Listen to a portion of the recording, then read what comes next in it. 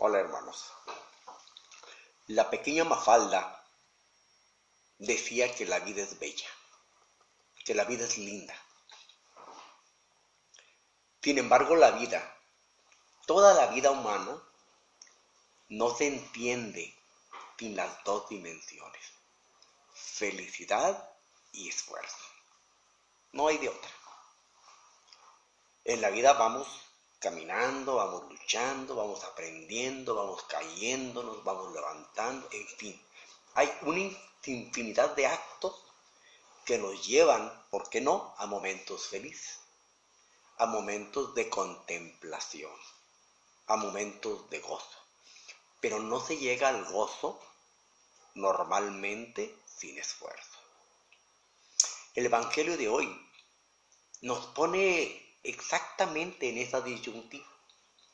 Fíjense bien, Jesús toma a sus discípulos, Pedro, Santiago y Juan, y lo primero que hacen es ponerse en camino. ¿Qué sentido tiene para nosotros hoy ponernos en camino? Vean, para muchos cristianos, la vida cristiana, la vida religiosa, la, la situación católica ya está hecha, ya, ya. Ya no hay que buscar más, ya simplemente vivir los preceptos, tranquilitos, no pasa nada.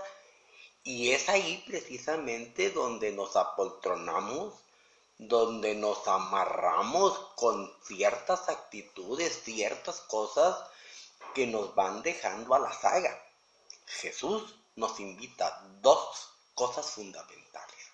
Primero, no hay gloria, no hay resurrección sin cruz.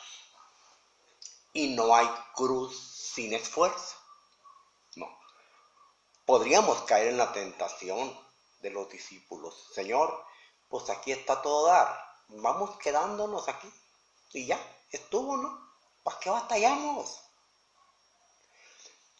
Para poder llegar a la contemplación del cielo, ese cielo nuevo y ese mundo nuevo y esa situación nueva, tenemos primero que empezar a caminar, ponernos de pie. Luego, dejar ese mundo acomodadito como ya lo tenemos, perder a lo mejor la seguridad del piso, de este piso que nos mantiene, y empezar a buscar experiencias nuevas. Es ahí lo complicado. ¿A quién nos gusta perder la seguridad? ¿A quién nos gusta eh, empezar a batallar? Mm, creo que a nadie. Sin embargo, el Señor nos lo vuelve a repetir y nos lo vuelve a decir. Un cristianismo acomodadito, apoltronado, en un estado pasivo, pues ahí nos vamos a quedar. Ahí nos vamos a quedar. Por desgracia en nuestra, en nuestra iglesia, muchos de nosotros vivimos ese tipo de cristianismo. Hoy el Señor nos dice, no, ponte de pie, primero ponte de pie, arriesgate. ¿Se acuerdan cuando el Señor nos llamó? ¿Qué, qué, qué pensábamos? Hace 40, 50 años. Perder la seguridad de lo que tengo para emprender una aventura nueva. Hoy la iglesia está precisamente en ese estatus. ¿Qué ha pasado? ¿Qué pasó con toda la seguridad que teníamos? Nuestros cultos rimbombantes, nuestros horarios establecidos. Llega una pandemia y el Señor habla y nos da un trancazo ahí el momento, se cierran los templos, no hay culto. Hemos tenido, estamos trabajando en ese reinventar. Queremos descubrir esa presencia del Señor nueva. Digo, porque sin le ponernos de pie, sin echarnos a andar, sin subir el cerro, sin esfuerzo, sin carga, sin sacrificio, no habrá resurrección ciertamente. El mismo Jesús nos enseña el caminito, ahí está. Sin fuerza, sin esfuerzo, sin sacrificio y sin cruz, no hay gloria. La gloria futura es el anuncio, es la esperanza, es lo que el Señor nos ha prometido ciertamente. Pero para llegar allá hay que emprender el camino. ¿Para quién de nosotros la vida es fácil? ¿Quién de nosotros no batallamos por conseguir el pan de cada día? ¿Quiénes de nosotros, sacerdotes, ex sacerdotes, casados, no hemos tenido que, que, buscar la manera de reinventarnos?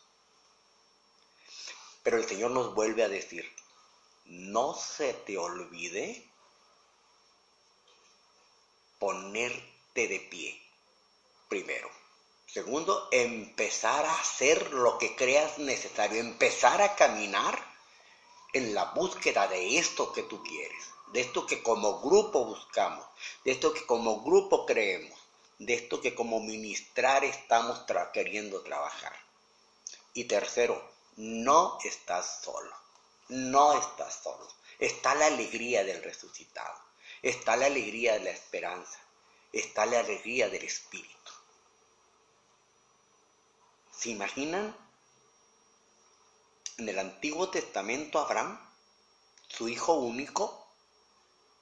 Y el Señor que le dice, levántate, toma tu hijo y ven. Sin más, sin más, sin más seguridad te voy a dar, te voy a... No, no, no, levántate, toma tu hijo y ven. Y luego estando ahí arriba, lo peor todavía, ahora sacrifícamelo. Es un Abraham que no la piensa dos veces, ni una. Inmediatamente se pone en acción. Obviamente, el Señor nos ama, nos quiere, no nos va a permitir que nos hagamos daño ni hacer daño a nadie.